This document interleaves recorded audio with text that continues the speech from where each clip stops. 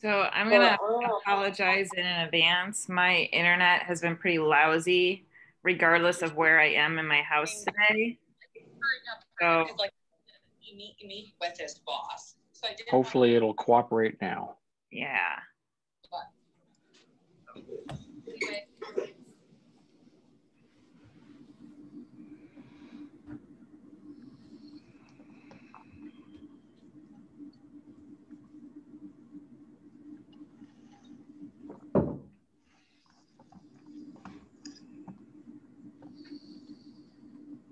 All right. Well, I have 3:30. It's January 26th. This is the January 26th uh, Board of Waterworks Trustees meeting, and I show that uh, all five board members are online and a number of other people. So I think we'll go ahead and get started.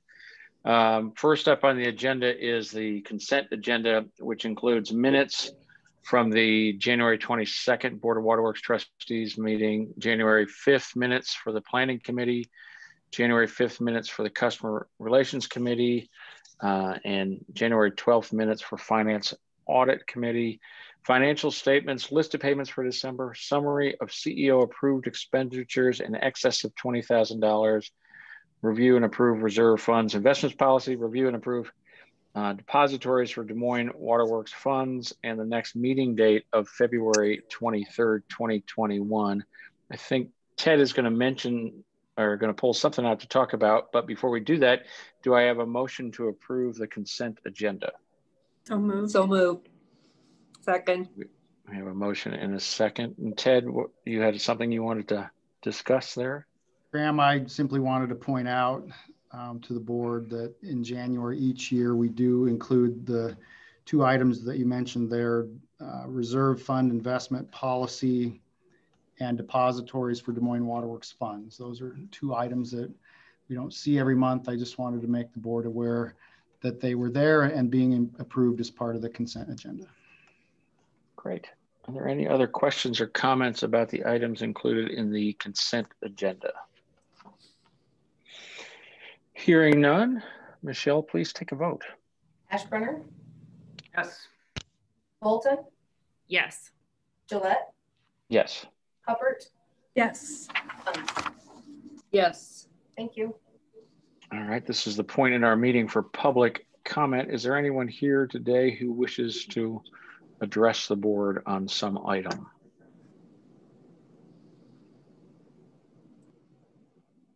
It doesn't appear so.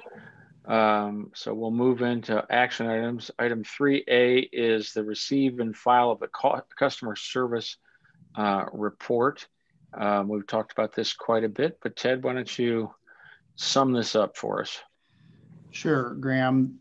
Um, in 2017, Des Moines Waterworks hired Raftelis to review our cost of service methodology and, and to ensure um, that we were following uh, generally accepted industry practices. That was done um, at the request of, of the board.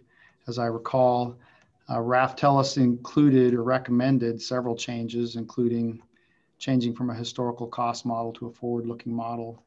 Uh, we did implement that change and staff used the Raftelis model to inform 2021 rate setting before rates were approved in October. Um, subsequent to that, staff has now prepared a, an executive summary of that model and the process. As you mentioned, Graham, we've talked about this a number of times at various um, committee meetings and even board meetings. And today we are here asking that the board receive and file uh, that cost of services study. So this is a sim very, fairly simple process. I'm looking for a motion to accept and file the cost of service study. Moved. And is there a second? And there's a second. Are there any comments, questions, thoughts, observations? Um, my only comment is that the title is receive and file, and later on it talks about accept and file. I think there are no differences between those, but they probably should be consistent. I agree. So the motion is to accept and file the cost and service study, and that was what was seconded. Is there any issue with that language? All right, hearing none. Um, all right, so with that, I'll take a vote. Please, Michelle. Ashburner, Yes. Bolton, She was having trouble with her internet, so Yes, sorry about that. there she's back. Gillette, Yes. Hubbard, Yes. Munns. Yes. Thank you. All right. So this moves us to item 3B, which is the award of the 2021 tank painting Pleasant Hill Tower in Wilch- Wilchinski Standpipe. Um, this is a public hearing, so um, with that, I'll open the public hearing for comments from the public concerning the project's form of contract plans and specifications. Is there anyone here from the public that would like to speak on this item?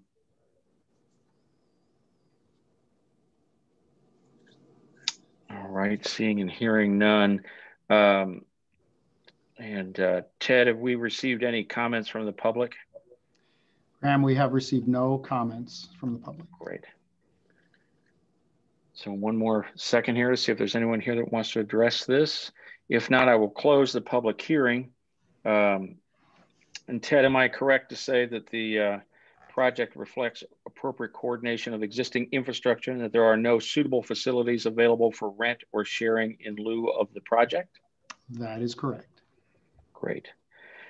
So I am seeking a motion to approve the project's form of contract plans and specifications and estimated cost. Is there a motion to that effect? So moved. Second, And a second, and we'll take a vote on that, Michelle. Ashburn? Yes. Bolton, yes. Gillette, Yes, Hubbard, Yes. Munns. Yes. great. Um, and then Ted, if you could provide us an analysis of the bids, please. Absolutely, Graham. I, I would like to point out this is an excellent opportunity for us to cooperate with one of our total service customers, actually bundling a painting of one of our tanks with the painting of their tower to get the best possible price for both. We actually had uh, quite a bit of interest in this project. We had uh, a dozen um, bidders who attended the pre-bid discussion. Seven bidders took out plans and specifications. Um, we actually had seven bids submitted, but you'll see that there are only three listed here because in a very unusual set of circumstances, we had um, four bids that were non-compliant and, and so were not accepted. Um, three of the bids were submitted with uh, a separate uh, bid security, which is required in our instructions. And the fourth bidder failed to use the bid bond form that we that we require, which is again included in the instructions and actually part of the packet. So unfortunately, we weren't able to receive or accept those bids, but we did get three very favorable bids. Um, the engineer's estimate for the project was 1.6 million. Um, the low bid for the two tanks and associated alternates was uh, 1.1 million dollars submitted by J.R. Stelzer and Company. Uh, J.R. Stelzer is, is located in, in Lincoln, Nebraska. They've successfully painted a number of tanks in the region, and staff would recommend that the board award the contract to J.R. Stelzer. I anticipate there might be some questions, especially about those um, bids that uh, we're not able to take. But before we have those questions and uh, discussion, I'm looking for a motion to award the 2021 tank painting Pleasant Hill Tower Wilchinski Standpipe contract to J.R. Stelzer Company for the base bids and alternates combined in the total amount of $1,145,524 and authorize the chairperson and CEO and general manager to execute the contract. Is there a motion to that effect?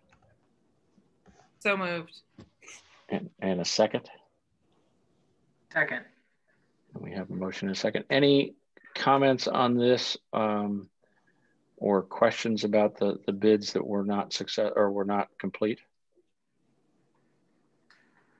Yeah, Ted, is it, was the issue merely an envelope issue or the lack of bid security? I'm a little confused by the wording here. Yeah, the, Joel, the, the instructions, and I think Michelle may have an example of the instructions that are provided in the bid packet, the packet of materials that the contractors receive. Um, the, you can see there number two, the bid bond. Well, there's a bid bond required in an amount of 10%. That's item number one on the instructions. Number two is that the bid bond um, should be in a separate envelope, not with the proposal. We require that because we can't open the bid if we don't have appropriate security. We can't read the bid, and so we do require that it be in a separate envelope.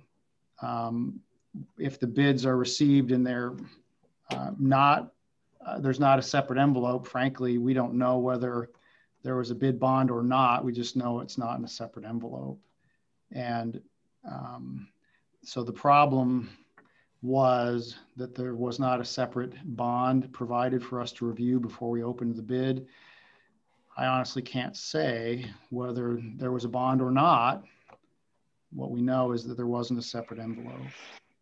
Um, you know, I think part of the challenge here, Joel, was that um, some of these contractors were first-time bidders with us. Some of them were out-of-state contractors. Some of them received their bid packet electronically. And if they receive it from us, we literally give them the envelopes that are intended to be for bid security and, and the bid itself. And um, it's sort of a, a, a, perfect storm, but it's incredibly unusual for us to have that many bids that are uh, not opened. I was going to ask, but I think you just answered this that this is very unusual. I mean, if it were, if we had more occasions, we may wonder about the clarity of the instructions, but that's not the case from what I understand. It's, we occasionally have a bid that um, is submitted without it follow, following the instructions. Um, you know, there are only six instructions, but they're fairly specific. We do occasionally have a bid that doesn't pass muster, but to have this many on one contract, I think is unprecedented.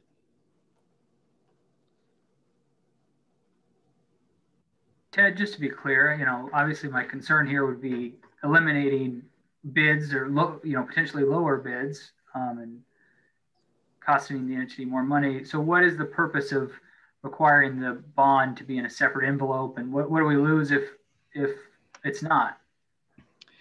You know, the the the risk there, I guess, is that we cannot accept a bid if it's not secured. We can't open the bid. We can't read the bid. We can't accept the bid. And so, uh, while that that is not required by statute, it is not required that the bid security be in a separate envelope. That has been our practice for many years to ensure that we have the documentation that we need to legally open and read aloud the bid before we get into the bid itself.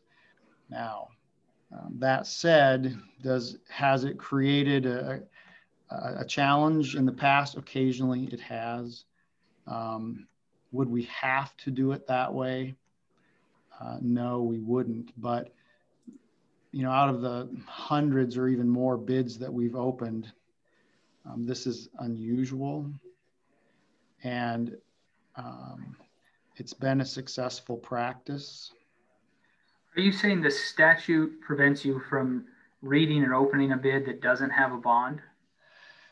It prevents you from receiving a bid, and I, I don't know what the exact wording is, and I don't know if Rick can help me out with that, what the exact wording is, but I know that we cannot accept a bid that isn't properly secured.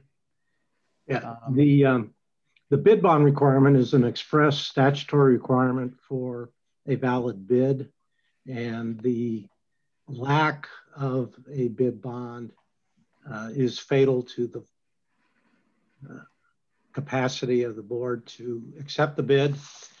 and the purpose of bid bond is to make sure that when the bid comes in, that the there's an assurance that entity making the bid will actually enter into the contract and sign the paperwork. And so it's a pretty serious requirement. Uh, and I can second Ted's view that the requirement of a separate envelope has been the practice of the waterworks for a long, long time, as, as long as I can remember. And I think it's also probably the standard practice in the construction contracting community. Um, I don't think this was a thing that was invented at the waterworks. I think it's what everybody does.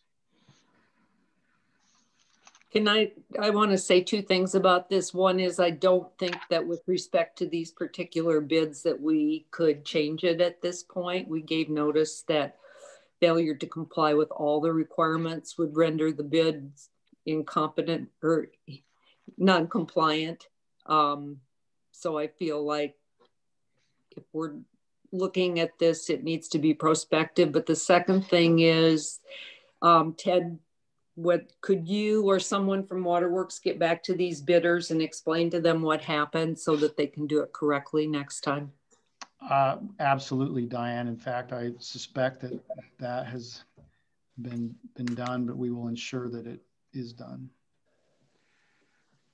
I'd also say the failure to submit the bond in the proper form is uh, also a serious uh, defect. So there were two defects here, not just the envelope one. You know, Graham, in my previous role, I used to do a lot of bids, and um, you would almost hope that a new vendor would not follow the bid rules and kind of stumble on this. Um, but I think, seriously, the reason that it is so important is if we did not have the bid secured, and if we looked at the bid and it happened to be lower, but it was not secured, that would not give us the basic financial. Um, confirmation or assurances that they could fulfill it. It's not the easiest and quickest thing to get a bid bond. And so somebody needs to be on top of it and know what they're doing. Well, and I would say that's helpful. Okay. Yeah. Mm -hmm. um, when Ted and I talked about this, you know, one thing I think Ted's offered to do and suggested that the staff would do would be, to, you know, to look through these instructions to make sure they were uh, easy to understand if there was something that was going to miss. Um, one of the things Ted thought he would do is give it to an employee that maybe hadn't seen it before and, and let them look through it and make sure that it made sense to them. Um, because to Joel's point, uh, we want to make sure that everything's consistent. Um, you know, that it's, you know, if it's our rule or it's statute, that it's consistent and easy to understand. So, you know, maybe it's just an opportunity for us to look back to make sure we're doing things uh, logically that actually protect the bids and you know that it's it's written in a way that's easy to understand. I mean, there's six points. It appears to me that it's pretty simple, but it's not a bad not not a bad opportunity to go back and look at that again. So. And Graham, the other thing we could do if there are going to be a number of newer um, bidders that would be interested is you can include a bid security envelope as part of the package when they pick it up. That's an um, quite often that's in a brighter color or stamped across it that says bid security, you know, with the disclaimer that without this, your bid will not be opened. Sure, sure. And I think to Diane's point too, the one thing that Ted and I discussed as well is if they call these bidders that were uh, that did not uh, submit complete bids, maybe get some feedback to them and why they missed it. Um, if that that may tell us something too. So, is there information of how to contact whomever at Waterworks if there are any questions associated with these instructions that I'm seeing here? Yeah, there's a document in the bid package that's instructions to bidders, and if they have questions, it tells them specifically who to call.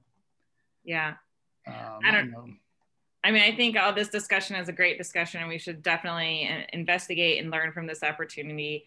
As someone that deals with receiving um, bids, not quite to this this uh, intricacy, um, my first response is, well, if you didn't bother to call me and ask me to help clarify, and you can't follow the instructions, I don't know if you're a great a great contractor to work with in general. Um, but I definitely think this is a learning opportunity for us since there were so many um, that had problems with this. But I'm definitely comfortable with moving forward with the one that um, we have selected today. Agreed. Right. Any other comments, questions, thoughts on this item or the bid process in general? We have a, a motion and a second. So Michelle, if you could take a vote.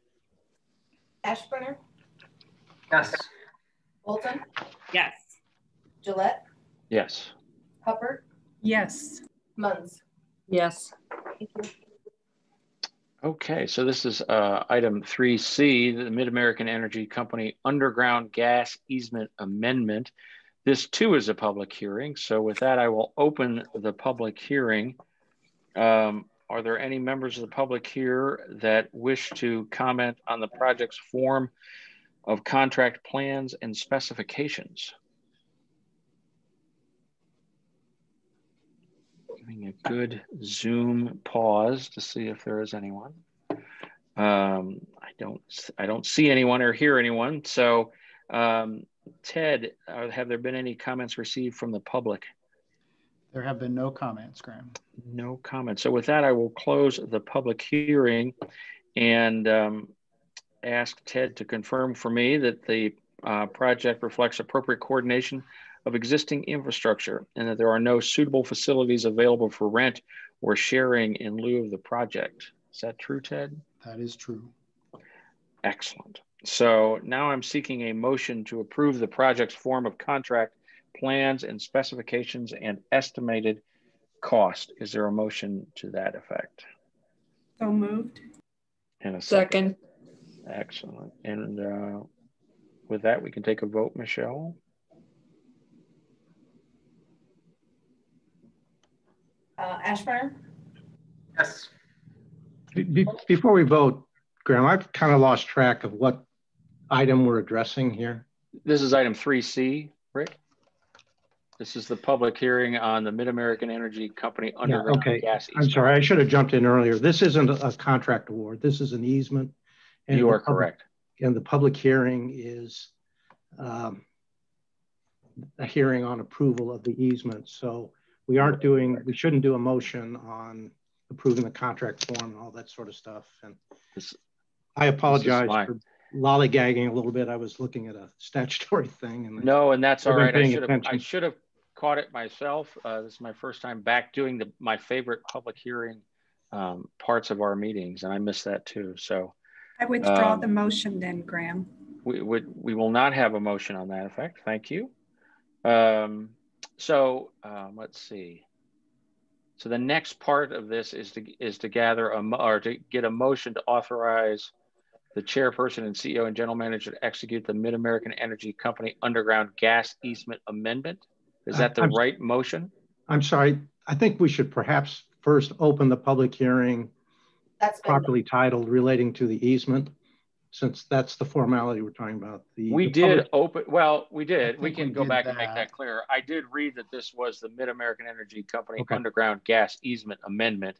We had a public uh, hearing to that effect. Where I went wrong was where we were talking about the um, reflecting the combination of Okay. existing infrastructure. So Okay, I think we're okay on that front. okay, sorry about that. And again, No I should worries. jump in earlier. Okay, No, it's my fault. Uh, so I'm looking for a motion to authorize the chairperson and CEO and general manager to execute the Mid-American Energy Company underground gas easement amendment. Is there a motion to that effect? So moved. Second, And we have thoroughly confused all, everyone involved here, but I appreciate that. Ted, board, are there any other questions or comments on this item? No comments, Graham, but I, I would point out that this, um, there's an existing easement for an existing gas main. The board has probably already noted in the memo that the gas main passes under the Raccoon River and Waterworks Park and has become exposed in the bank of the river. Mid-Am simply wants to relocate, replace that main adjacent to the existing, and that's what the amendment is for. Understood. maybe you just said it's uh, any trails or other amenities, facilities affected by this in the park? No, Joel, um, actually, the, the main comes down the west side of 30th Street. And uh, they are going to bore from the south side of George Flagg, under George Flagg, under the river and into a, a little used part of the park uh, north of the Raccoon River, straight north of the intersection of George Flagg and 30th, actually a little west of straight north, but no impact on park facilities. Thank you. Any other comments or questions on this easement amendment? Hearing none. Michelle, please take a vote. Ashburner, Yes. Bolton, Yes. Gillette, Yes. Hubbard, Yes. Munns. Yes. Thank you. All right. Public hearing fun has been put behind us. We're moving on to item 3D. This is request authorization to reimburse the city of Des Moines for River Bend and King Irving sewer separation phase 2A project. Um, before I get a motion, maybe Ted, you can explain this to us. Yeah, Graham, thank you. Uh, we actually brought this project to the board for permission to reimburse the city in December of 2018, but this has been kind of a messy project. The original permission granted was to reimburse the city about $170,000. But uh, through the course of the project, there was a detention pond constructed, which resulted in an additional 114 feet of pipe that had to be replaced. There were a couple of uh, unanticipated alterations where new sewer conflicted with existing main that had not originally been planned for replacement and a couple of additional hydrants that ended up having to be replaced. So the total of additional work that had to be done on the project was actually over $100,000, $103,000 more specifically. And so we wanted to bring this back to the board again and ask for permission to reimburse the city again, but instead of 170,000 roughly, uh, we need to reimburse the city 273,342.86. Okay, so I'm looking for a motion to authorize the staff to reimburse the city of Des Moines, River Bend, and King Irving sewer separation phase 2A project in the revised amount of $273,342 and 86 cents. Is there a motion to that effect? So moved. And a second. Second. And we have a motion. Any questions or comments on this item? Yeah. Hey, Ted, when uh, when there are change orders like this, um, at what part in the process are we made aware um, that there are going to be some significant cost increases? You know, Andrew, we're, we're usually pretty much on the front line of that when they run into the problems out in the field. We have an inspector, as an example, that would inspect uh, our part of the construction. And when these things come to light, that the existing main is, is going to be impacted by this detention basin where originally it wasn't expected. We, we become aware of that pretty quickly and, and before the work is done. Um, so we're, we're there. Um, our, our goal is always to understand the magnitude of the project before it's bid and awarded, but that just isn't always possible when we're working underground and we can't see exactly what's there. Sure. Do we have any um, play any role in identifying solutions when we have these types of change orders, or is it just kind of understanding what the city is dealing with and being aware as they move forward? I would say that we we absolutely have opportunity and the the city in my experience is pretty flexible in terms of trying to work through these in a way that doesn't result in additional expense but maybe Mike McKernan could elaborate a little more on that point. I would essentially echo your comments there. There are there are times there where there's clearly opportunities and we try and be constructive and productive in those situations. Um, there are other times when, you know, we may have tried to, you know, complete a project with, with without doing an alteration in a certain location, and then, you know, conditions change in the field, and you, you become aware that you know we need to do an additional alteration. At, at that point, you're th there's really little to debate. Uh, you just need to, you know, commence with uh, some additional work. And Mike, I, I would offer that when we are planning these alterations, we try to be conservative and replace or relocate just what is necessary. We don't um, replace everything just in case. We replace only what we're confident is going to be in conflict. And so we do occasionally run into things where um, we were a little too conservative in our estimates, but we would rather do that than replace everything wholesale and end up replacing a lot that didn't need to be replaced. Is that a fair statement? Absolutely. And it, it's not in the memo here, but it's interesting. Some of the pipe that, you know, we had to move here was installed in 1889. And, you know, we, we were not intending to replace it. Uh, uh, an aged asset that was still, you know, delivering for the customer. So yeah, we're, we're very selective, Ted, about trying to make that capital improvement dollar go further. All right. Any you. other yep. any other comments or questions on item 3D? Hearing none, Michelle, please take a vote. Ashburner? Yes. Bolton? Yes. Gillette? Yes. Huppert? Yes. Munns? Yes. Thank you. All right, item 3E is the request authorization to solicit bids for nitrate removal facility crawl space renovation and establish the date of a public hearing as the date of the March 2021 board meeting. Um, before I uh, seek that motion, perhaps you can walk us through this, Ted. Yeah, Graham, I would I would certainly put this one on the list of, of things that uh, we wish we didn't have to do, but it's it's a have to do. Um, our nitrate removal facility, which you're all familiar with, was constructed on top of our clear well here at Fleur Drive, and there's a, a crawl space below the floor of that facility and above the uh, clear well that um, is uh, occupied by basically the support structure that holds the, the nitrate removal, removal facility and specifically the vessels up.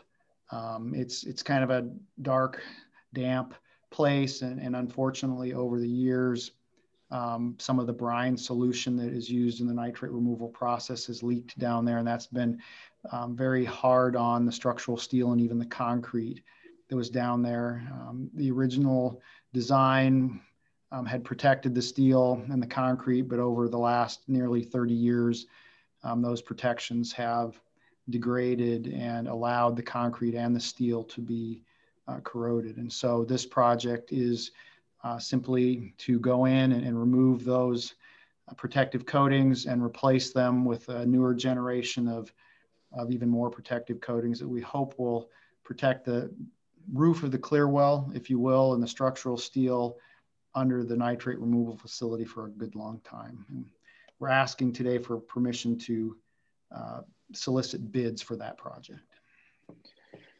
So I'm seeking a motion to authorize staff to solicit bids for the nitrate removal facility crawl space renovation and establish the date of the public hearing as the date of the March 2021 board meeting. Is there a motion to that effect? So, so moved. moved. Second. And uh, any comments or questions on this? I have one, Ted. As you uh, obviously, as folks get underneath this facility, it makes me think this is an aged piece of equipment that is um, scientifically a little bit out of date. It uses an old process. What is our timing to evaluate the lifespan of this nitrate removal facility and if we need to upgrade it and that sort of thing?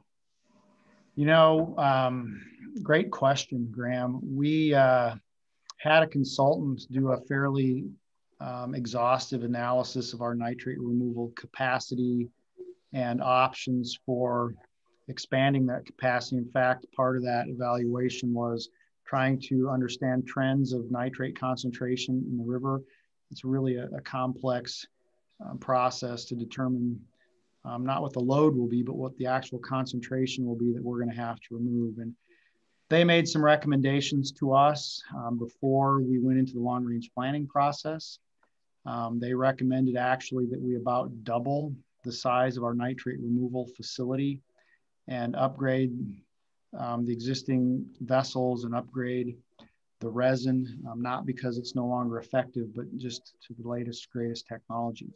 Subsequent to that, um, we have decided to pursue a, a, little bit different path, which is to try to acquire some shallow groundwater along the Des Moines River between uh, Prospect Park and Interstate 8035. We believe that there's a lot of shallow groundwater to be had there that uh, will be naturally lower in nitrate and will also help protect us from the toxin problems, the microcystin problems that we're having on the Des Moines River seasonally now. So we've really put any kind of expansion or upgrade of the nitrate removal facility on hold for now until we figure out how much um, lower nitrate, low toxin water we can harvest from that potential well field. And because we've sort of put this on hold, we think it's important to go ahead and um, get the structural steel and concrete underneath the facility protected.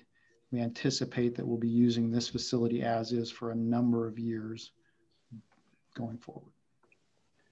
But great question. So, so there, if I just make sure I understand correctly, so um, as we pursue this um, shallow ground, this shallower groundwater, that mm-hmm. would provide us once we tap into that, that provides us ability to tap that water when concentrations are high on our other source. Correct? That's right. And, and then, but, and but we don't ever anticipate saying we won't need the nitrate removal facility. No. The question is, to what extent we'll need it. Is that am I saying that correctly? Right. We believe that we don't need to expand it, but we're not going to be able to do without it. We're, we're always going to need surface water in our estimation and there's always the chance we'll have to remove nitrate from that surface water.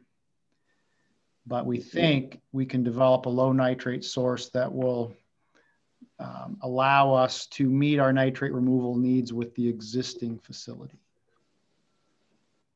And in any case, well, in either case, whether, well, do we think we need to examine the technology we're using at the nitrate removal facility, or are we confident that that's going to that's going to continue to service in the near future. We're confident, Graham, that the technology is going to continue to service. The consultant who did the report, CH2M Hill, who now has become Jacobs, but when they did that analysis, and somebody, Nathan or Mike might have to jump in here uh, for me, but when they did that analysis, they gave us some options. And if you'll recall, one of the options was potentially constructing a very large nitrate removal wetland in the western part of the park. And that's why we built this small nitrate removal wetland as a, as a model to help us understand how that could work. That was a, an option. Reverse osmosis was an option. Expanding our existing ion exchange nitrate removal facility, same technology, likely with a new uh, resin, was also an option based on that analysis, we feel like ion exchange is still a viable nitrate removal technology. Uh, we may at some point change the resin to something that's more specifically targeted at nitrate, but we think it's a viable technology uh, for the foreseeable future. Um, Mike, uh, Nathan, would you add that or improve on that in any way? Uh, uh, I can I can add to that. Uh, uh, ion exchange is still to, to today um, the most commonly used technology to remove uh, nitrates. Um, it's also the most cost effective method.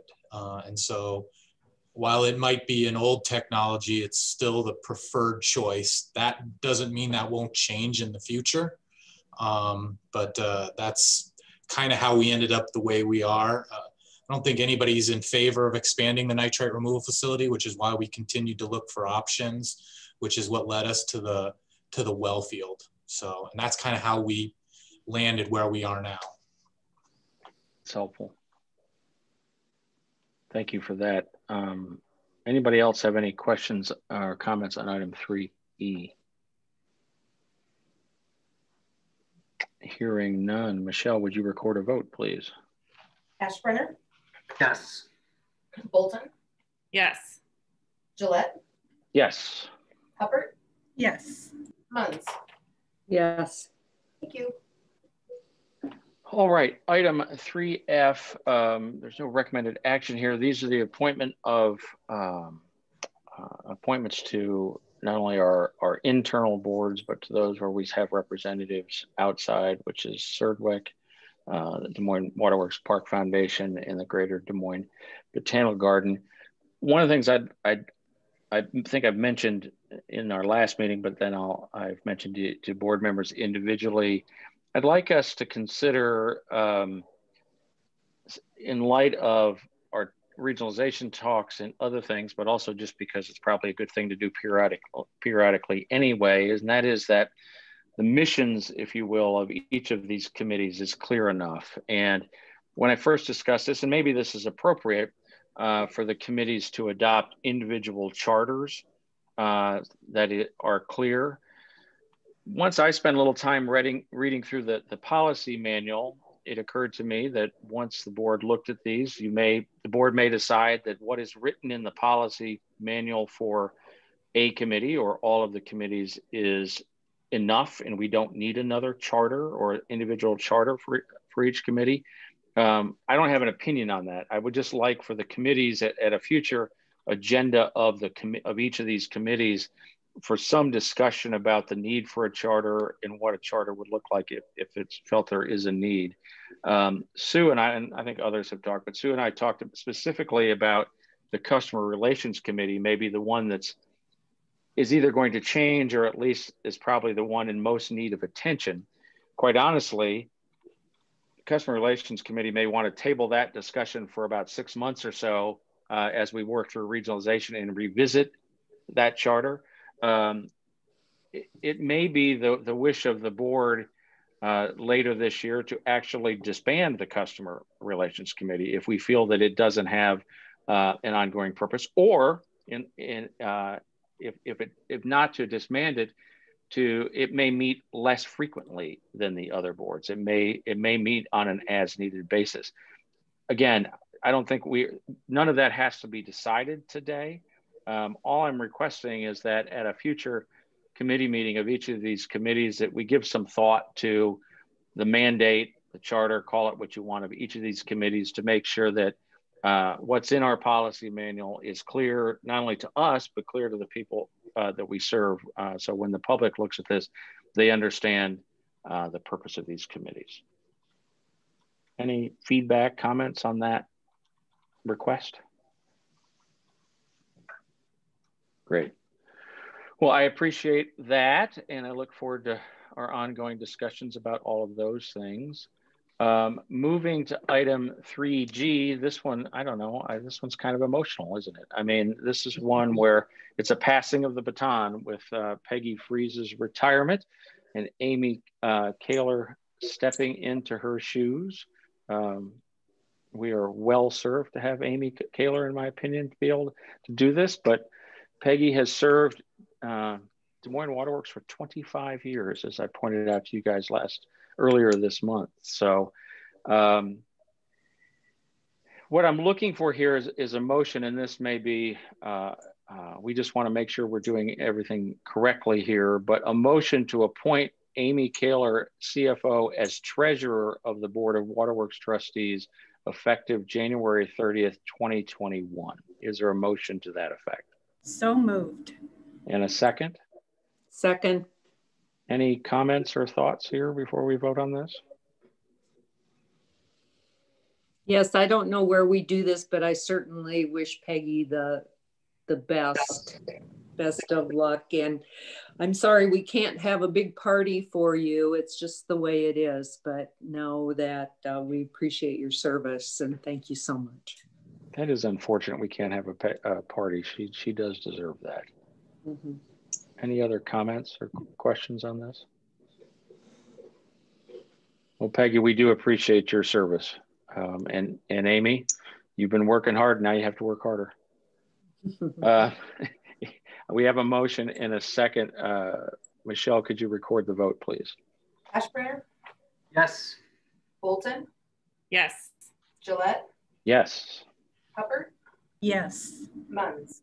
Yes. Thank you. Okay, so that moves us through our regular agenda items. We're moving into section four, which are information items, uh, board uh, committee reports. And the planning committee is up first. Yes, so per usual, I think many of you were a part of that planning committee meeting. I just wanted to uh, express my appreciation for being able to go through the, the reverse osmosis uh, planning and, and, and future thought of development of that facility. So thank you. And I don't have anything more to add. Great, thank you. I have uh, Finance and Audit Committee. I don't have my agenda pulled up here, Ted. Will you help me give this report? Yes, Finance and Audit Committee report. Um, this month, past month, we talked about uh, the Phase One Park Improvement uh, closeout, the project closeout, and where we were with the Park Foundation in terms of um, not only the the capital, which is which is within one percent of being closed out, but also operations in light of the pandemic and the, their inability to have uh, events, and then also the the depreciation fund. And we talked about creating a um, an, an, agreement there uh, so that everyone understands that we're we're putting that off or there's a forbearance process that um, is is, in writing. Um, we also talked about um, the growth pays for growth proposal. Uh, the Amy presented on Matt Stoffel's presentation that he gave to the regional micro group. And uh, that was more for the board's information just to understand where we are in that process. And, and one of the I would call it interests um, from the other members of, of the group and uh, possible discussion points for the future. Graham, those were the two primary items. Thank you for that. Um, Customer Relations Committee, Sue? Sure. Um, all of you have been receiving the updates of our weekly meetings. In addition, Diane and Jody Smith and John McEwen and I have also had weekly meetings as we look at governance. Um, the remaining question that we really have on governance that we do need some board input from um, is on weighted voting and how we structure really the overall board. Um, I don't know how much of that discussion, Graham, we want to have in an open public meeting and how much because it gets into um, really the strategy of the negotiation of regionalization um, and, and the um, oh, inclination or preference of this board, but all of the groups, um, Urbandale, West Des Moines, and us, said that we would bring this issue of weighted voting and the importance of it to our particular boards here at the end of the month and make you aware that that is the piece that we do need input on. Diane and Ted, do you want to add? Well, I guess not Ted, more Diane. Um, no, I think that we have this on the agenda. Is it Ted at the next customer relations committee meeting? That's right, Diane. This this yes. is the topic for discussion at that meeting, which is a week from today. Correct. And we will plan to bring um, information on the the options for weighting votes and what that means in terms of percentages and what the difference is, so that the board can um, understand and, and consider that. I do want like, to just. Uh, go ahead. I would just no, please. I'd like to add that um, Diane, Ted, Kyle, Amy, and, and, a number of other staff uh, members and I have met twice uh, in the last two weeks to talk through um, the 28E, but to talk through kind of the the steps, if you will, that uh, we'd like to consider. I, I, uh, kind of, let's let's call them the decision making steps that we think that the board's going to need to make.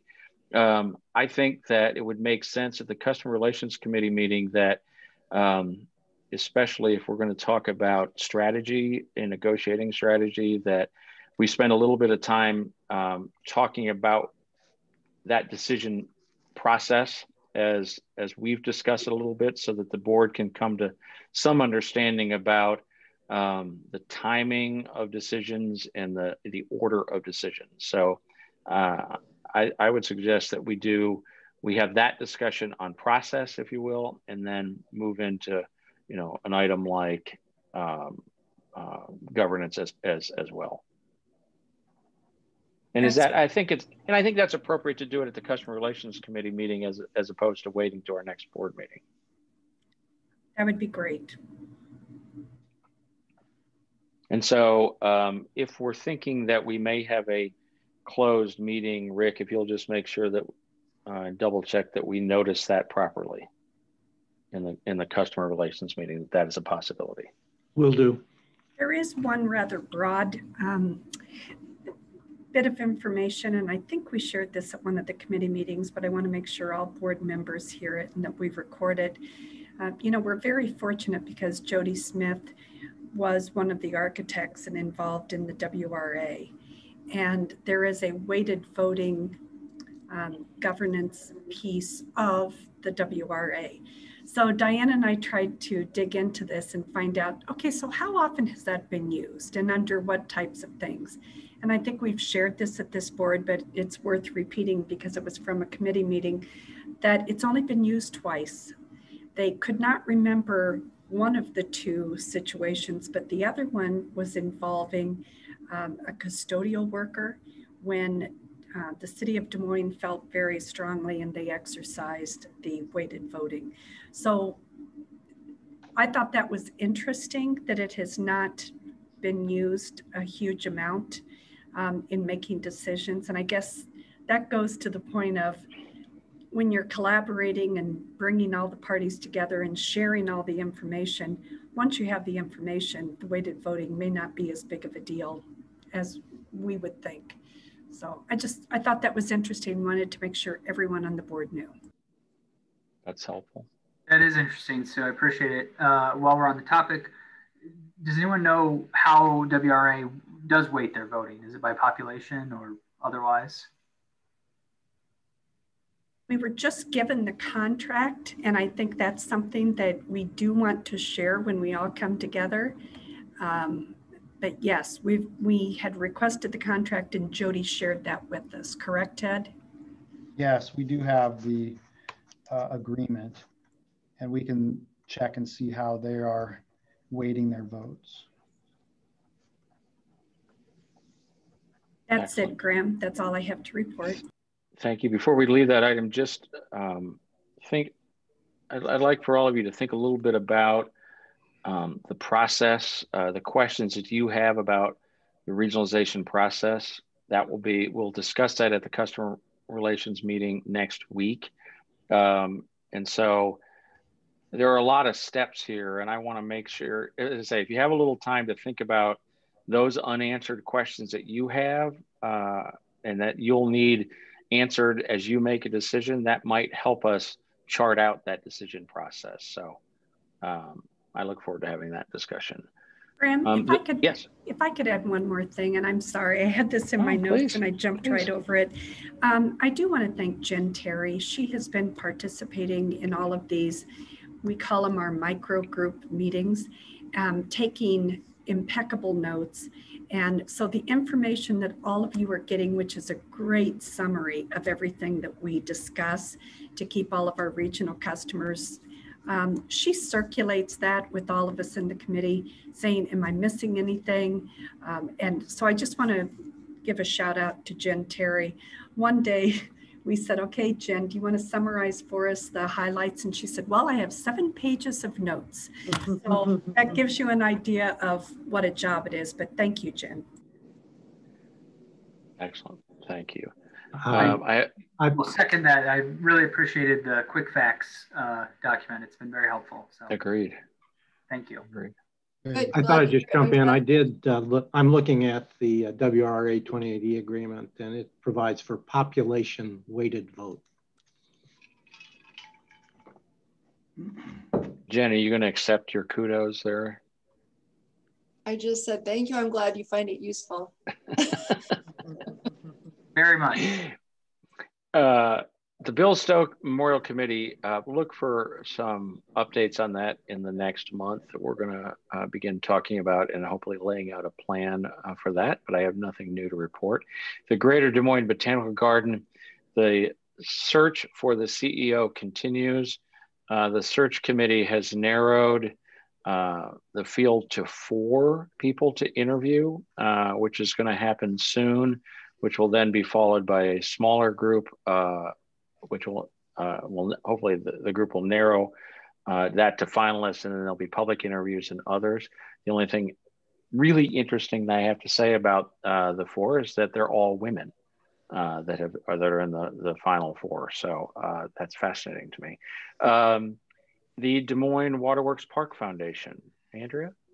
Sure. So I think the items to note um, in, include uh, the discussion that the Finance and Audit Committee had um, regarding the closeout that um, Mike's been working on. So I don't know if we need to go over that again.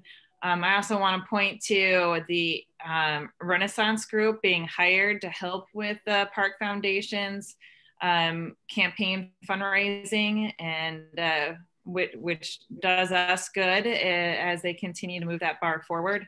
Um, and also that they are planning their um, strategic planning retreat next month, um, and hope for some good momentum to come out of of that active of those activities.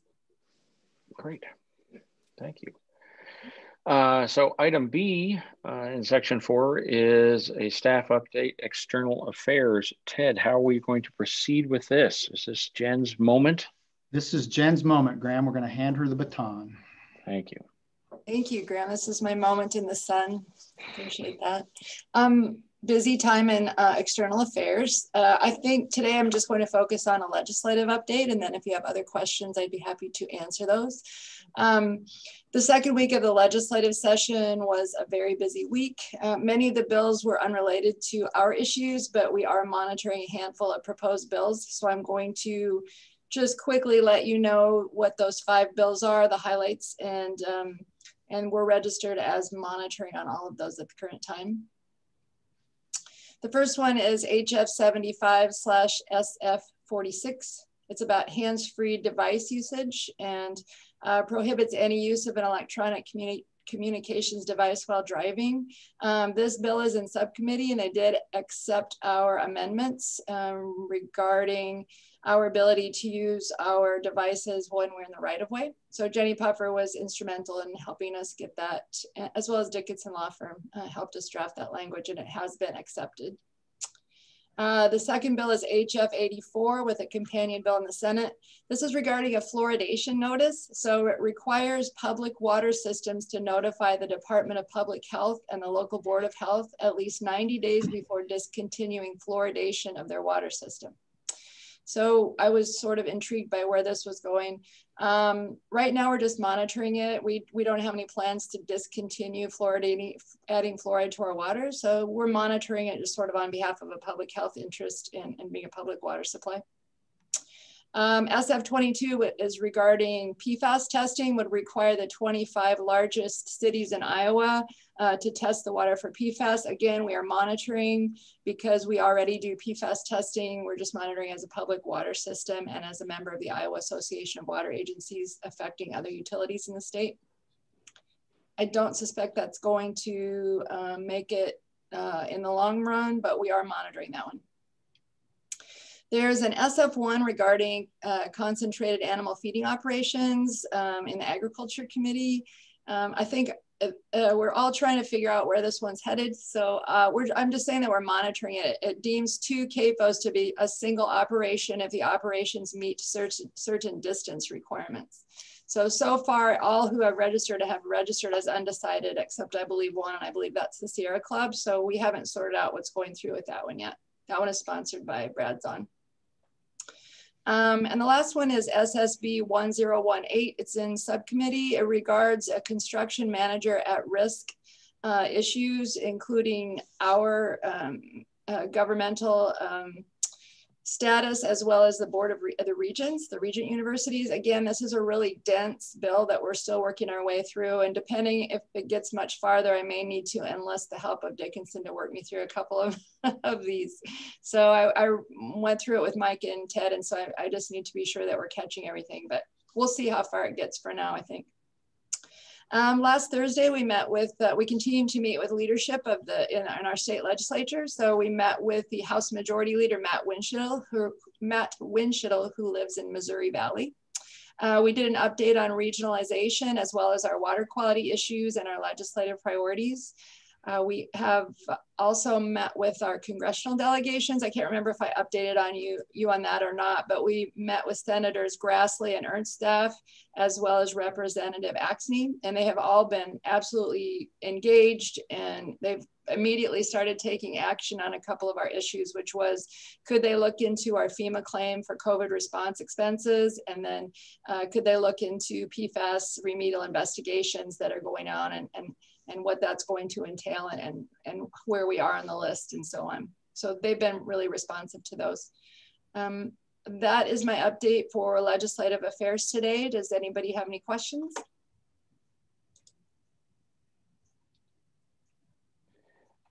I've got one, Jen. Um, as quickly as the Biden administration appears to be moving on all fronts, are you, do you have the tools you need to monitor what's going on uh, in the Biden administration? Do you feel? Um, do you mean in well? Um, in well, I just think.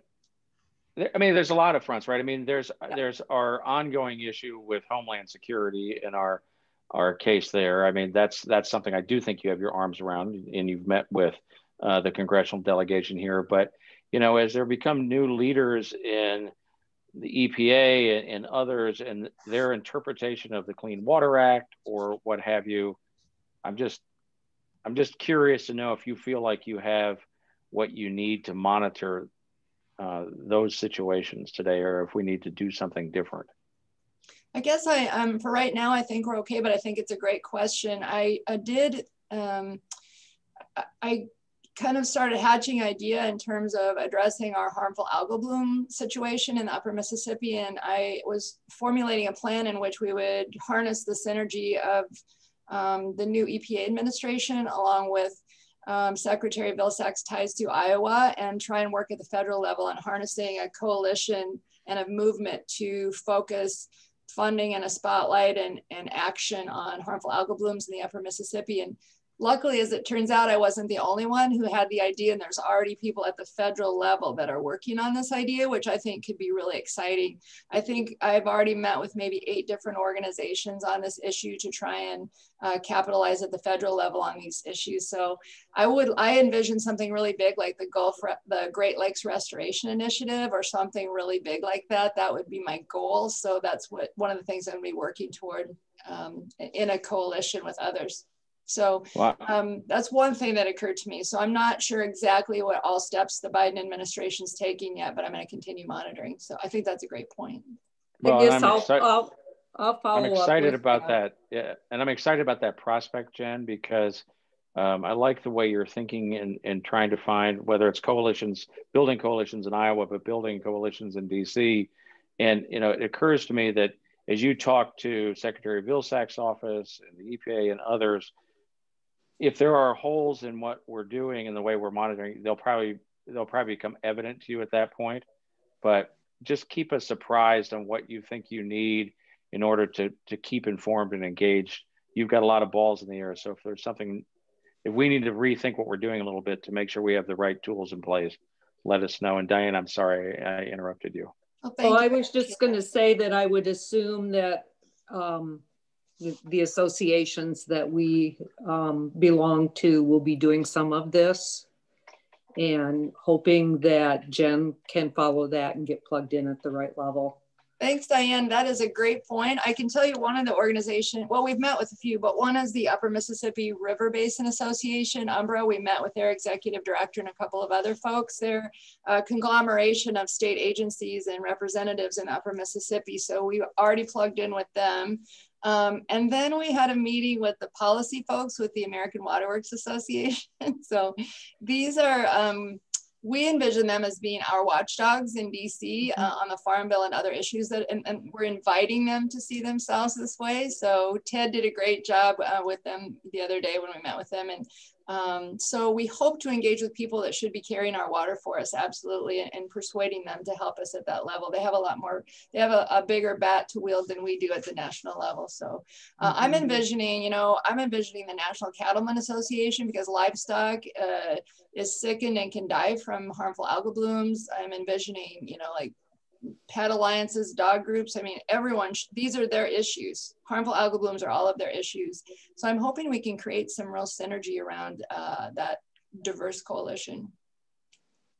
I have a question for you. Those national groups like the um, American Association of Moine Water Work or of Waterworks, do all of those groups have a, are we all on the same page as far as some of our issues, or is there a vast priority or even philosophical value difference in some of those groups? Ted, I'm gonna uh, I'm gonna call you. in And you've been a member of American Waterworks for you told them about three decades. So um, I'm gonna let you weigh in on that one if you wouldn't mind. Yeah, I I think that uh, the broad strokes, Andrea, are, are, similar. We all value clean water and we all value um, source water protection and, and we all um, value uh, a lot of the same things. But when you get right down to uh, the details, um, they are focused on things that affect uh, more of their members. And frankly, uh, things like confined animal feeding operations and, and tile drainage and agricultural land use practices. While that one might affect a number of their members, um, you know, we are somewhat unique in our position here. And some of what they shared with us were things that just, while they might work in other places, they just are not working for us. Um, you know, it's unusual for for the private ownership of land in a state to be so close to 100% as, as, as it is in Iowa. They were talking to us about things that could be implemented on public lands, which you know as well as anyone is what less than 1% of the land in, in the state. And they were talking about RCPP projects and how that can be um, a, a, great tool. And you know we have those, but we can't spend the money because it's all private land and nobody wants to do the practices. And so um, at, at, a very high level, I think we, we share uh, interests and philosophies. But when it gets down to the details, it can be um, more challenging to find alignment between them and us. And I, I think it was a good meeting. I think that um, we were able to leave them speechless a couple of times, Jen, might be the best way to say yes. it. Yes, that's uh, true. But I don't feel like we came out of it with, you know, them uh, having our back and, and ready to fight for us because they don't know what to do either. So does that answer your question? Sue, and that's been raising your hand too. Oh, I'm sorry. Go ahead, Diane. Well, that's probably correct, but those organizations have people in Washington who are very good at tracking and keeping up on what's going on. So, you know, since we're members, we should take advantage of those things. Yes, Sue, I, um, did you yeah, I, I do. Graham, to your point, um, and we are a member of the Greater Des Moines Partnership, they just announced yesterday that they are going to have a September um, DMDC trip pending COVID so that we can meet new members of the Biden administration in the various groups that are important to us, EPA, AG, and others. So that might be something that we would certainly want, you know, to ensure that Des Moines Waterworks were a stakeholder for the partnership. Um, I know, I know Jen has been real involved in setting the agenda, and uh, the kickoff for the federal agenda is this Thursday. So um, we'll want to make sure that we plant that with all of the important initiatives. Yeah, that's a great point. Thank you, Sue. Yeah, that could be important. This that trip this year could be important if it comes off in September. Anything else for that, Jen That's Terry? a big thing. If it comes off, good point. That's right. If it comes off. We live in a Graham, could I time. just, before we move on, just Please. comment that Jen has done such a great job of getting us meetings with the people we need to be talking to. Um, we have talked to, I think, everyone. But in all seriousness, she's done a great job, you know, getting the policy people from AWWA and, and these, the Upper Mississippi River Basin Group and anyone who we think might be able to uh, help us, we've been able to get a meeting with. So great job. Thanks, Ted. It has been sort of a jaw dropping experience for some of the folks we meet with. And I think that means we're doing our job. So discussion is a good is a good starting point. So that's great work. Um, thank you, Jen. Moving on to the CEO and general manager's comments. There's two items that I see. Ted, what else you got? Yep, I want to, I, I got a couple of other things, Graham. One of them is really fast. I just want to point out that under item D, we, we do have our professional service agreements. Um, the board had asked us to begin a list of professional service agreements. That is in the packet for the first time this month there. Michelle has it pulled up. You can see that there are four thus far. So um, you can have a look at that when you have a chance. And, and certainly we're open to feedback if there's something more you would like to see. But that will be in the packet each month. And as we add um, professional services agreements as we move through the year, we'll try to keep that up to date. Um, COVID-19 response. Um, I don't have a lot to report there. Utility operations are basically unchanged over the last several months. The vast majority of our staff are now working in the new normal um, in, in teams or in, in separated groups or in um, newly fashioned workspaces, and that seems to be moving along well. We, we continue to have a very small number of people at any given time who's impacted either directly as an individual or uh, as a family member. We are starting to see a few family members receive their vaccinations. Those who are in the healthcare industry or long-term care um, are starting to get vaccinated. Those are, you know, primarily spouses. Um, the office does remain closed to the public at this time, but I have to say we we really haven't received any um, expression of concern or, or complaints over that. I think people really figured out how to pay their bills and we've made additional options available to them and they can drop cash in the drop box outside and we go get it multiple times a day and make sure it gets applied. And so that is working seems to be working fine. We still have some limited work from home but basically we are um, we've adapted and we're sort of in a holding pattern here until vaccination moves forward and we can get back more to normal.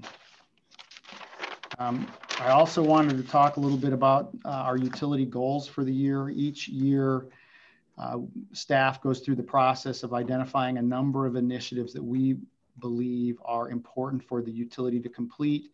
Uh, and we establish those as utility goals. You'll remember last year, for example, that um, launching our new CIS system, the new wholesale rate structure were goals. This year, we've identified three initiatives uh, in addition to our, our, safety initiative that we feel are critically important for the utility, and we'd like to share those with you uh, just briefly. The first one of those is uh, treatment capacity, expansion planning, being prepared, understanding where we need to go in the future, whether it's through regionalization or, or not. And, and Mike McCurnin is going to walk us through the goal related to that.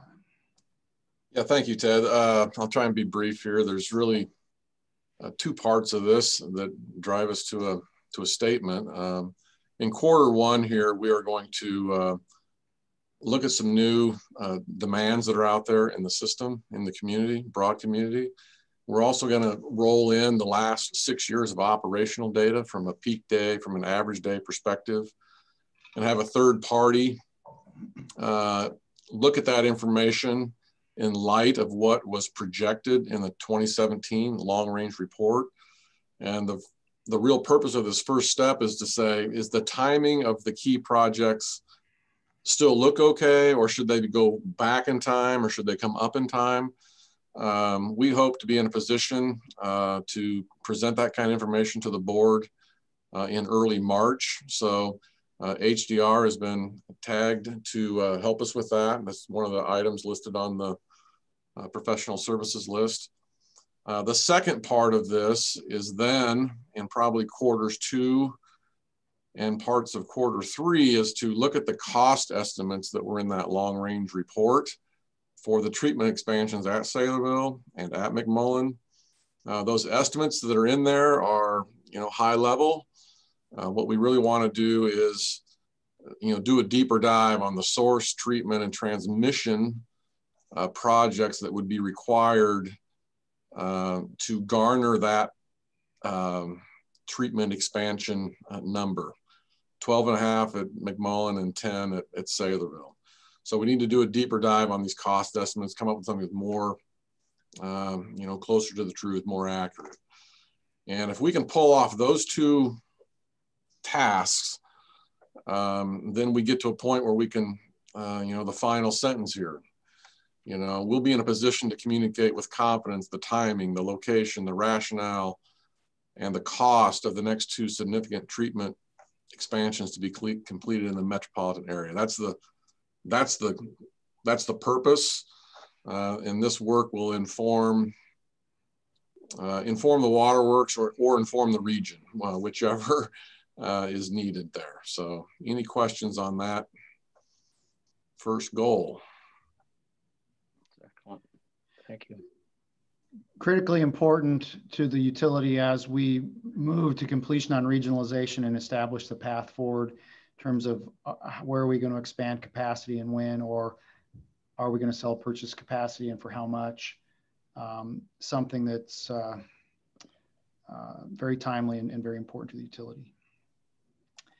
So thank you, Michael, for that. The second uh, goal for this year, utility goal, relates to uh, the lead and copper rule revisions and our response to those revisions. We had a, a, somewhat similar goal last year, but the lead and copper rule is not issued until December 28th. And so now that we've had that, we've refreshed that goal a little bit, and Jenny Puffer is going to walk us through that goal. Yes. So as Ted said, the new rule is out. It is finalized and ready to the streets. The one thing I learned today, though, is that the Biden administration has issued an executive order they want a regulatory freeze pending review on this rule. So that means it could change yet again.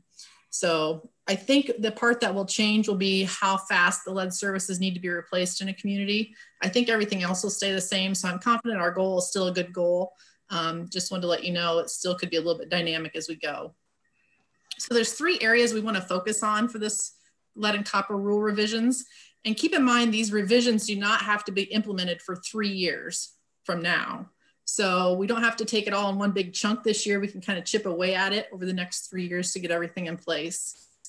The first thing we want to do is update our public relations campaign. Um, we've got a lot of information out there on lead service lines and lead and water, and we want to revisit that, refresh it. And the one thing we want to do specifically this year is to help customers understand whether or not they likely have a lead service line. So one thing we worked on last year was a piece for our new website. So Des Moines Waterworks will have a new website out sometime this year. And there'll be a page on that website where a customer can type in their address and see whether they think they have a lead service line or not. Keep in mind, we do not have records of what the material for customer service lines are, but we're gonna base it on a couple of things like the date it was installed. Um, and so we're gonna be able to tell the customer you have a suspected lead service line or you don't. And we want to be able to share with the public what that means. Uh, we don't want to create panic. We don't want everybody to think I have a lead service line, therefore the water's not safe.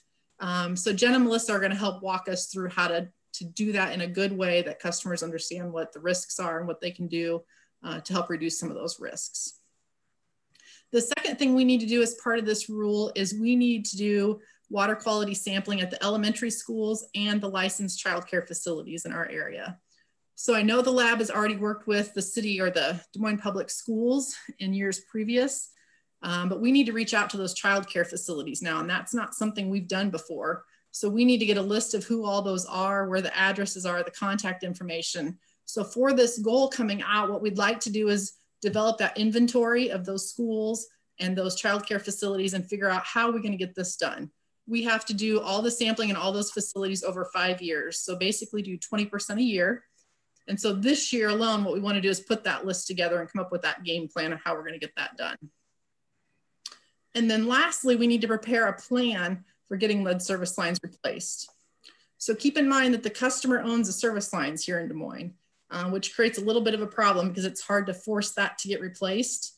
And so DNR is still working through what that rule is going to entail. Um, you know, if we were to pay for it to get done, we're looking at over $100 million to replace all those lead service lines in Des Moines. But there are some legal questions about can we put public water funds into a private infrastructure replacement? So there's lots of questions out there. We're hoping there'll be some grant money. I know some states are releasing money to help replace lead service lines. Um, lots of questions. And DNR and talking with them, they do not want to see this plan that we provide or we put together for 18 months because they have so many questions. They want to make sure they understand the rule fully so they can provide good comments on our plan. So we're just going to come up with a draft plan this year and then we'll finalize it here in the future. Any questions for me on those three mini goals of the bigger goal? When you talk about uh, notifying childcare facilities, uh, what does that entail? Like at home childcare providers, things like that? Yeah. So anybody that's registered with the state yeah. is that's going to be. So I'm sure that will be very challenging. Mm -hmm. Yeah. That'll be a new avenue for us and a new way to communicate. And again, we want to put out a letter that says what we're going to be doing, um, not to cause fear or panic, but to help them understand we're, we're trying to get some good information for them. Okay. Thanks for the explanation. Yep. I understand that. So this rule, this is the proposed rule. Is that correct? It's actually finalized here just a couple weeks ago. Oh, it, it was finalized. It so, finally was. was. Okay, I've got it. Thanks. Yep. I guess my other question, we made comment on that rule, mm -hmm. correct? Did correct. they respond to any of our comments? Um, not really. Not really. really. Thanks for submitting, but yeah. But if it's under review and if there's an executive order, now's our time. Yeah. I want to learn more about what what part they're wondering. Again, I think it's they're trying to get the lead service lines replaced faster because the current rule has if you have an event where you're seeing lead in your water from the samples you're taking, you have to replace 3% annually of your lead service lines. And I think they're that number bigger than 3%. 3% mm. isn't a very big number, although if you have a lot of service lines, it can be a big number. And so I, how many do we have, Jenny? 20,000? Around 20,000. Okay.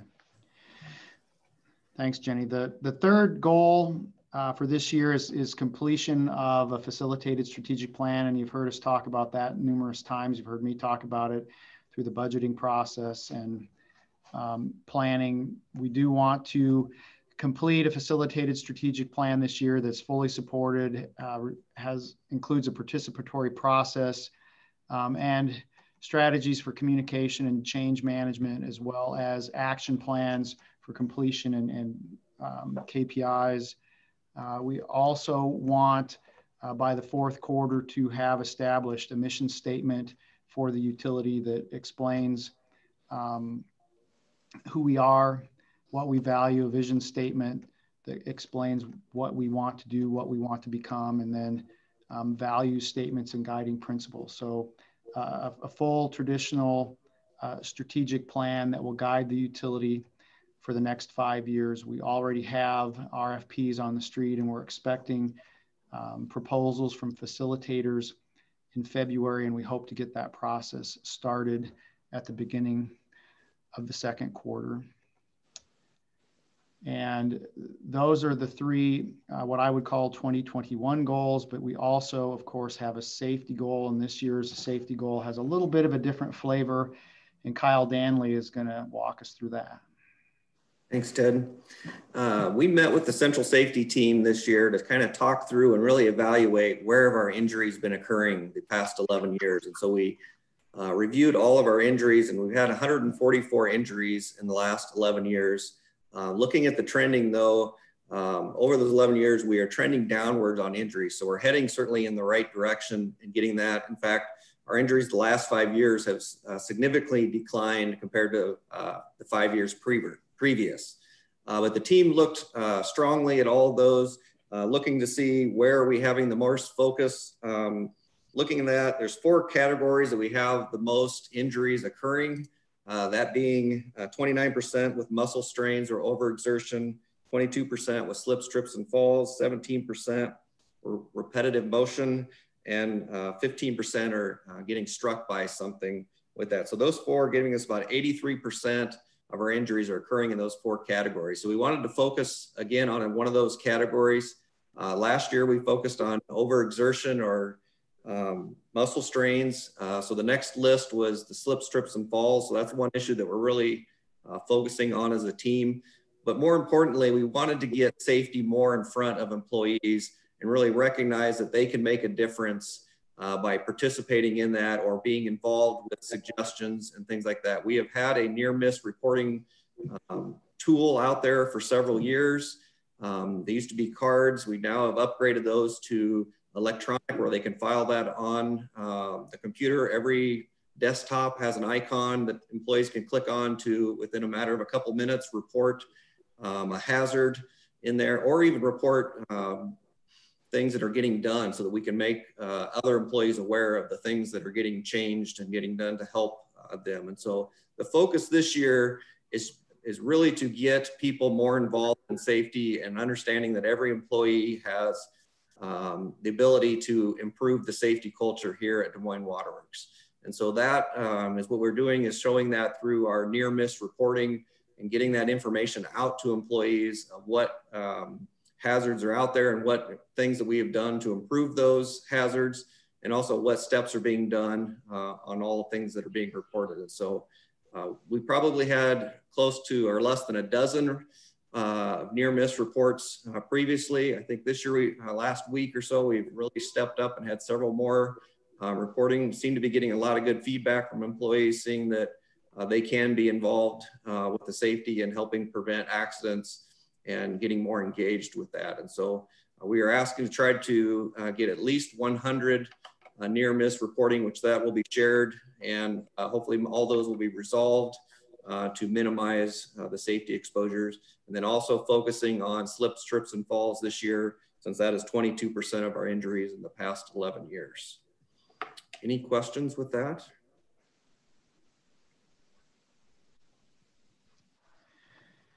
a much more active goal, a leading indicator instead of a lag indicator this year. So I applaud the group for coming up with that. Um, any questions about the utility goals before I, I, one more thing on my list here. Graham, I would, I would like to just take a minute to, to uh, highlight the fact that uh, this is going to be Peggy's last board meeting. Um, I'm sure that's obvious to everyone. She's retiring at the end of the month, but uh, according to my math, this this is about the 300th board meeting that she's attended. So um, that's a milestone to be sure. And she's retiring with 25 years of service. But as she likes to say, she took a short sabbatical in there. So even though she reached 25 years of service in 2020. Uh, she was actually here before 1995, which is what the math would tell you. She actually was here starting in 1992. And so um, Peggy got to go through the flood, what those, the old ones of us call the Great Flood.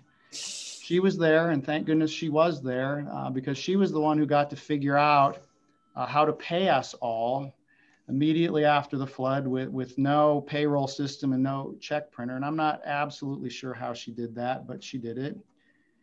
And I'm glad she did um, because uh, I needed the money. Um, that was also a time of uh, the flood of 93 that we were uh, spending money uh, like it grew on trees, which Peggy often told us it did not. And she was the one who got to track all of that and reconcile all of that and submit all that to FEMA and fight with FEMA for years over getting reimbursed. And so I'm confident that she was happy that she was here uh, during the flood of, of 1993. But um, not too long after that, and maybe a result of the, her FEMA interactions, I'm not sure, um, she did leave in 1997 for the aforementioned sabbatical. Uh, she came back though in 2000 uh, as the director of finance. She had been the controller in her first stint, but after sabbatical, she came back as the director of finance in 2000, just in time uh, to take over operation of the Botanical, Botanical Center, which uh, she and Don Goodrich managed for a number of years until it was turned over to the Friends. Um, I, in fact, remember sitting outside of the Botanical Center one night late with Peggy when that big ladder on the roof had fallen off and crashed through the roof, and we were trying to figure out what to do with that while she was managing the Botanical Center. 2005, it was time to take over Southeast Polk Rural Water, and Peggy had uh, a major role in, in managing that system uh, as we uh, assimilated Southeast Polk Rural Water into the Des Moines Waterworks system. Uh, a number of other examples, I won't, I won't go on and on, but in 2014, she became uh, the CFO, responsible for all of our um, business side of the house, uh, as we like to say. And uh, just for good measure, over the last two years, she helped us manage our way through the unexpected loss of our CEO and a pandemic. So um, I want to recognize Peggy for her 25 years of service. She has been an incredibly dedicated employee, a strong leader, and a good friend. Uh, Peggy, congratulations and, and thank you. Thank you for your kind words, Ted. For the record, your paycheck was typed on a typewriter in the shop of Hoover High School in 1993. Thank you. Graham, that's it for me. All I have to say, Peggy, is I, I don't know. Amy has uh, big shoes to fill, especially when it comes to uh, the way you've always explained the, our rate setting process to me every single year, and you've listened and patiently answered the same question for me over and over again. Um, uh, so, Amy, good luck with that. But um, it's it's something to walk away from an organization, Peggy, after all these years. But um, you should know that Des Moines Waterworks is better because of you. Thank you. So with that, I think we've uh, uh, gone through our agenda. The one thing that I want to point out, uh, we talked about the customer service, uh, the customer relations committee meeting, and I do want you to give some thought about those questions that you want answered in the process uh, as you see it, so we can discuss that next week. Um, I have volunteered some of you already to do some things. I know that Andrea has a meeting coming up to talk about public policy and legislative uh, affairs types issues. Uh, Joel has been pulled in to review communications planning and, and that sort of thing. Um, but don't wait for me to volunteer you. I mean, what we need to remember is that this is a small board of equals, and um, we need to make sure that we're um, pressing the envelope when it comes to asking the right questions and being informed. So if there's something you think we need to be doing or some information you would like to have that's not on an agenda, don't wait for uh, Ted or me or somebody else to suggest it. Let me know and we'll make that happen. So, is there anything else for the good of the cause tonight? Hearing none, I'm looking for a motion to adjourn. Moved. Moved. I like that. Is there a second? Second. Any opposition? Hearing none, no opposition, we are adjourned. We'll see everybody soon. Thank you, Peggy. Best of luck. Yep. All right. Congrats, Peggy. Congratulations, Peggy.